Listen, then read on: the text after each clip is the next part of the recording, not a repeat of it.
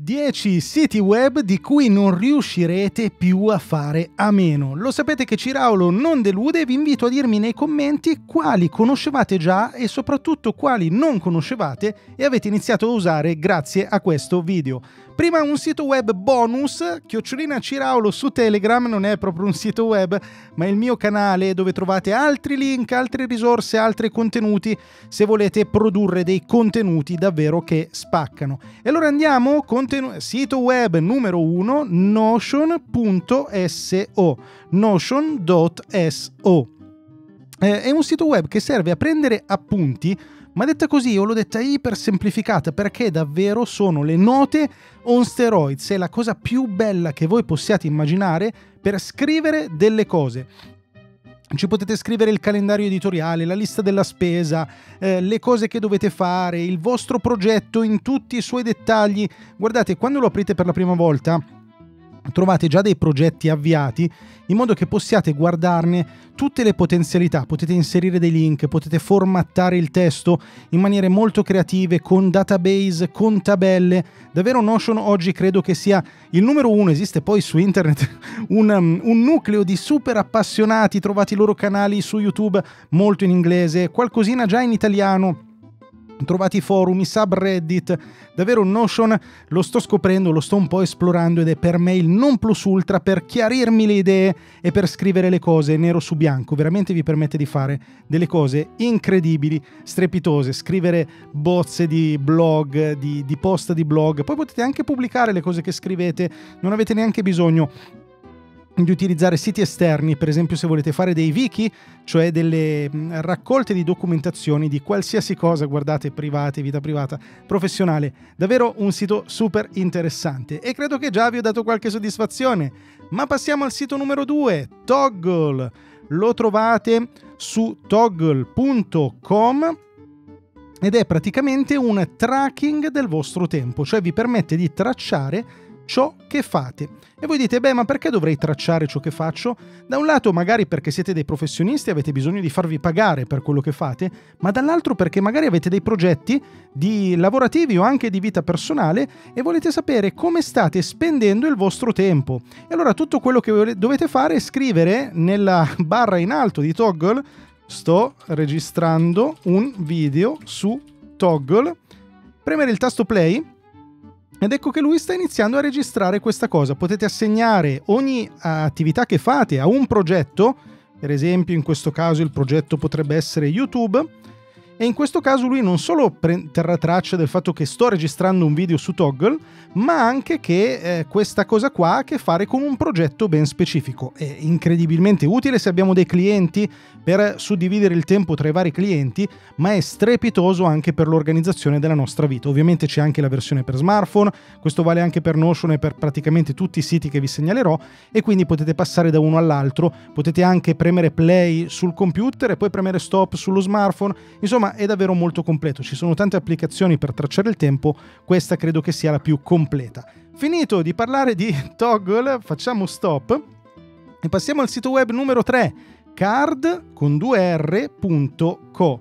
Card.co è un sito che ci permette di creare siti in maniera super rapida, super semplice, anche gratuita se non abbiamo delle grosse esigenze oppure a bassissimo costo se invece abbiamo qualche esigenza in più. Comunque vedete 19 dollari all'anno è veramente ragionevole. Gli altri siti web anche hanno una versione gratuita una a pagamento, ma con quella gratuita ci fate davvero tutto. Non avete bisogno di passare a quella a pagamento. Card.co è super veloce nella creazione dei siti, scegliete lo stile del sito web, per esempio se noi vogliamo un sito per il nostro profilo dove magari linkare i nostri social network, selezioniamo questo, questa tipologia, scegliamo quello che ci piace e, e Card ce lo pone come, eh, come, template, come modello che poi noi possiamo andare a personalizzare in ogni dettaglio. Vedete, ci basta cliccare sui vari elementi e semplicemente cambiarne il contenuto oppure anche tranquillamente andare a spostarli, aggiungere altri elementi, modificarli. Vedete che ci vuole veramente, e dico veramente, un attimo a fare tutto questo. Se volete fare un sito semplice, pagina singola, non blog, non robe tipo WordPress, non robe complicate. Se vi serve un sito, vetrina, una pagina singola, io credo che oggi tra le tante opzioni Card sia una delle migliori. perché effettivamente eh, con due clic io ho fatto dei siti web molto carini in un'ora letteralmente di tempo, ho inserito due o tre cosine, avevo già il sito pronto. Andiamo a vedere il prossimo Free Sound, freesound.org. Free Sound non è altro che una repository di suoni e musiche nella maggior parte dei casi gratuite e utilizzabili liberamente senza nessun tipo di, um, di, citazione, di citamento, di eccitamento dell'autore, ma dovete stare attenti sempre alle licenze quando si parla di suoni e musica. Vi linko il video nelle note di questo episodio dove ne ho parlato e vi linko anche il corso che ho fatto con Valentino, tutto dedicato proprio al copyright, diritto d'autore, privacy per chi crea contenuti. Su freesound.org andiamo a scrivere, per esempio, cerchiamo una campana, scriviamo bell nel campo di ricerca, diamo l'invio e lui ci troverà non una, non due, ma 8373 campane. E se vogliamo andare a prenderci quelle libere da qualsiasi tipo di licenza, clicchiamo su Creative Commons 0 e così ne abbiamo solo, e dico solo, 3138. Possiamo ascoltarle? E che campana, e che campana! E nel momento in cui ci piacciono, eh, clicchiamo sul link e ce le scarichiamo. Ci chiederà il login, dobbiamo eh, iscriverci al sito web. Eh, per, preci- per eh, precisione, per correttezza, vi dico che ovviamente qui la licenza va anche sulla fiducia di chi ha caricato questo suono, cioè noi non possiamo sapere che chi ha caricato questa campana effettivamente abbia caricato una campana che ha registrato lui e quindi ne detiene i diritti, oppure che non l'abbia presa per dire da un film. Tendenzialmente ci possiamo fidare di questo sito web, ma mi raccomando quando si parla di contenuti da utilizzare nei nostri contenuti è sempre meglio stare all'occhio. Qui trovate suoni, anche trovate musica. Ultimamente sono preso con la musica funk, cosa volete che vi dica? E trovate anche delle musiche interessanti da utilizzare.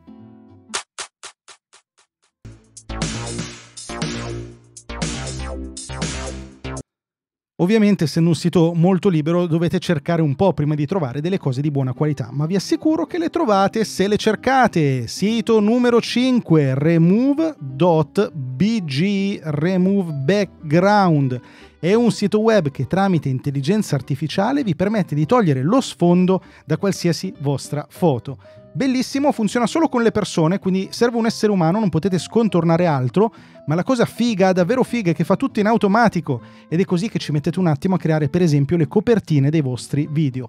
Vi basta andare a caricare l'immagine, vi cercate per esempio un ciraolone qualsiasi, un ciraolone sempre bello da scontornare, lui la carica, pensa qualche secondo e con grandissima qualità vi toglie lo sfondo. Guardate che meraviglia.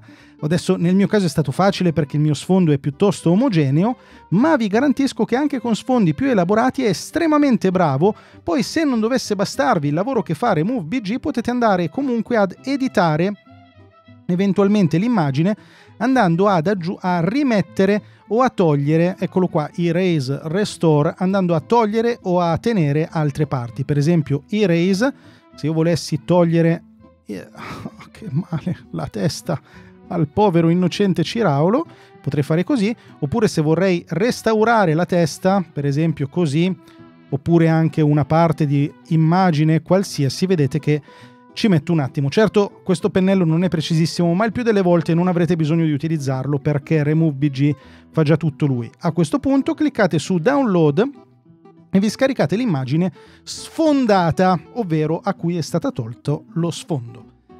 Sito web numero 6, Domainer, Domainer, dom, come si dice? Si dice domainer.com serve se volete farvi un sito web e volete cercare il dominio, quindi il link del sito, l'URL tipo il mio è ciraulo.me e in questo caso ipotizziamo di voler fare un sito sulla mortadella. Chi non ama la mortadella?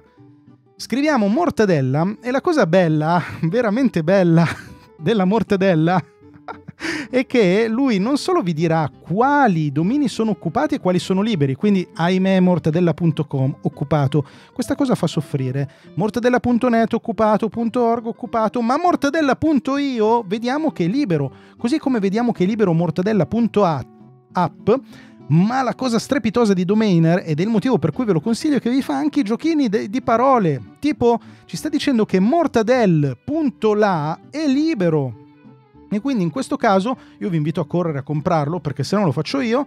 Eh, in questo caso noi potremo acquistare, utilizzando uno dei classici servizi, GoDaddy, Aruba e quant'altro, potremmo prendere il dominio mortadel.la oppure anche morta morta.del, cioè chi non vuole il, il sito web morta.del oppure mort.ad oppure morta.de slash la che purtroppo è occupato. Vedete, vi fa già i giochi di parole con il vostro dominio. Tra l'altro con Mortadella, guardate che meraviglia, eh, giuro che è stato tutto casuale, non mi ero preparato questo tipo di dominio. Domainer.com, sito web numero 7, Rebrandly rebrandly.com o credo anche rebrand.ly, non ci giurerei. Ad ogni modo, Rebrandly è uno dei classici siti che vi permette di accorciare gli URL. Quindi se voi avete un URL molto lungo, ipotizziamoci raulo.me slash sei la persona più bella del mondo e volete accorciare quell'URL per metterlo magari nelle note del vostro video, come faccio io per esempio con l'elenco della mia attrezzatura, Bene, in questo caso utilizzate Rebrandly e che ne so io, ipotizziamo davvero ciraolo.me e andiamo a prendere i corsi e andiamo a prendere il corso su Audacity. Vedete che lungo dominio ciraolo.me slash corsi slash podcast con Audacity lo copiamo e lo mettiamo dentro Rebrandly. New link, inseriamo il lungo URL e lui ci dà un corto URL che in questo caso sarà rebrand.ly slash 2i eccetera eccetera eccetera. Possiamo anche modificare questa scritta tipo mortadella rebrand.ly slash mortadella, vediamo se è libero. Se è libero siamo molto fortunati e da oggi per l'eternità rimanderà il mio corso su Audacity. Creiamo il link. No, peccato, è già usato facciamo pod mortadella non è molto breve, voi fa- trovate qualcosa di più breve, ecco che abbiamo creato il link rebrand.ly slash pod mortadella.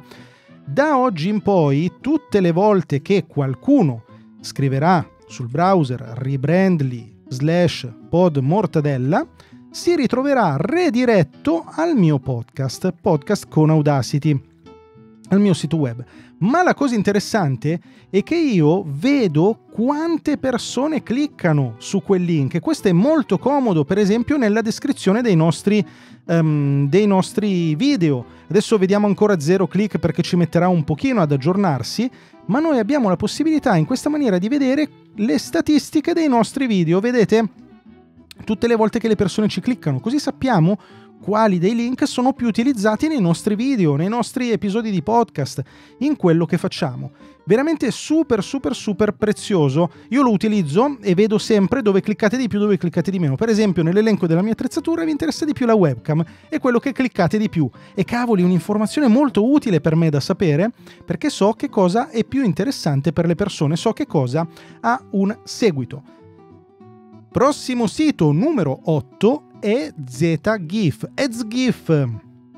EZGIF.com è un sito che serve a elaborare le GIF, che sono, non ridete, uno strumento portentoso di comunicazione, sia in senso serio perché possiamo usarle per fare delle infografiche, per trasmettere dati, informazioni, per dire delle cose, ma anche per aggiungere a volte un po' di ironia alla nostra comunicazione. Ed EZGIF.com è credo lo strumento più efficace online che ci permette di modificare le nostre GIF, di creare le GIF, GIF Maker, di trasformare un video in una GIF, di re, ehm, ridimensionare una GIF, di tagliarla, di ottimizzarla, di aggiungere degli effetti, di metterla al contrario dei colori, di aggiungere un testo, di tagliarla. Guardate quante cose possiamo fare alle GIF. Per esempio, tagliamo una GIF, crop, andiamo a caricarne una.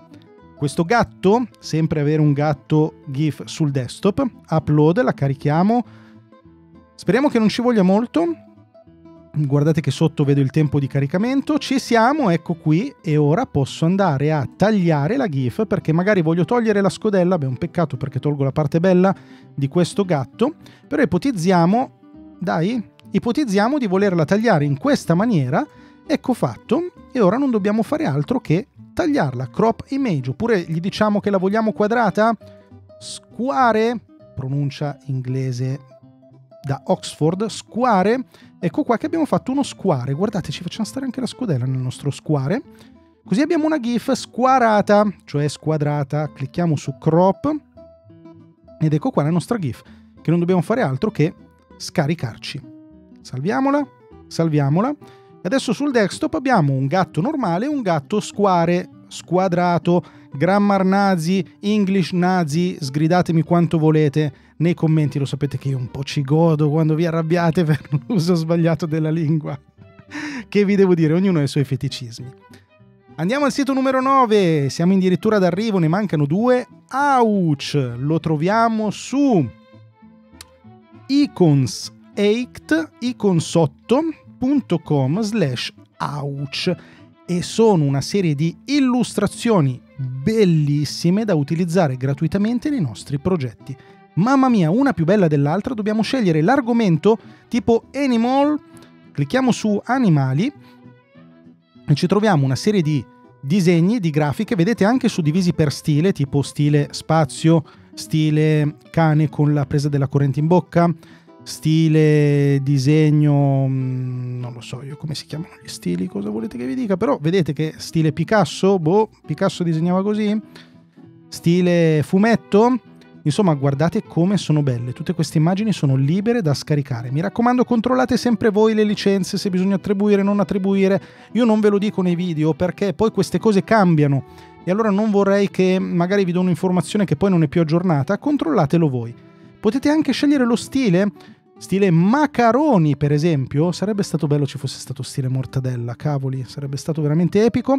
Guardate che carino questo stile quindi non andiamo a selezionare per soggetto, ma andiamo a selezionare per um, tipologia di disegno. Guardate che bello, quindi in questo modo utilizzeremo dei disegni tutti uh, concordi, tutti coordinati per il nostro sito o per le nostre thumbnail di YouTube. Veramente molto molto bello. Icons 8 Ouch. Ultimo, ma non ultimo, sito web Kill the Newsletter, è una roba preziosissima che io uso di brutto mi ci trovo veramente bene ed è praticamente un servizio che ci permette di iscriverci alle newsletter, ma di fruirne come se fossero un feed RSS. Vi lascio anche di questo il link nelle note dell'episodio, c'è un video dove spiego meglio come funziona sta roba, ma il concetto è che noi possiamo poi fruire delle newsletter non nella nostra mail dove ci sono le comunicazioni, Dio benedetto, è un fastidio ricevere le promozioni, le informazioni nelle, nella mail che serve per altro, serve per parlare con la gente. Insomma, in questa maniera noi possiamo ricevere la newsletter per esempio in Feedly, che è un'applicazione, anche quella ve la linko nelle note, il video che ci ho fatto, che è un'applicazione strepitosa dove eh, possiamo inserire tutte le fonti informative, potrebbe essere il sito web bonus Feedly, il numero 11, dove possiamo inserire tutte le fonti informative che tipo i giornali, i siti, i blog che seguiamo e li leggiamo tutti nello stesso posto in un'applicazione o sul sito web.